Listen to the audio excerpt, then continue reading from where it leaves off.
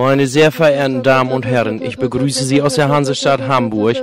Bei bestem Wetter warten wir darauf, dass die Titanic in den Hafen einläuft.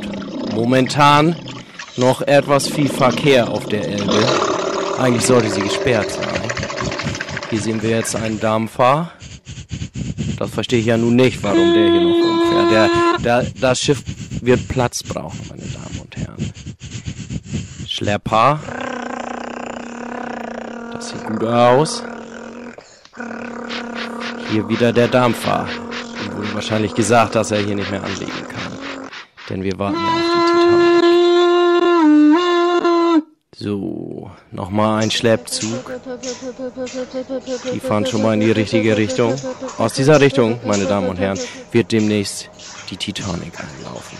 Es ist spannend. So. Und da sehen wir sie schon. Da sehen wir sie. Das Prunkstück läuft ein, geschleppt hier von zwei kleinen Schleppern. Fährt die Titanic in den Hamburger Hafen ein. Es ist wunderschön. Die vier Schornsteine oben drauf prangen in der Sonne.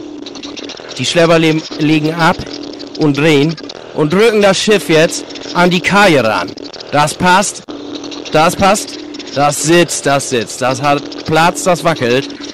Die Schlepper verziehen sich und jetzt hier nochmal ein wunderschöner Panoramablick auf diese, dieses wunderschöne Schiff. Willkommen in Hamburg. Super, alles klar. Geht, ne?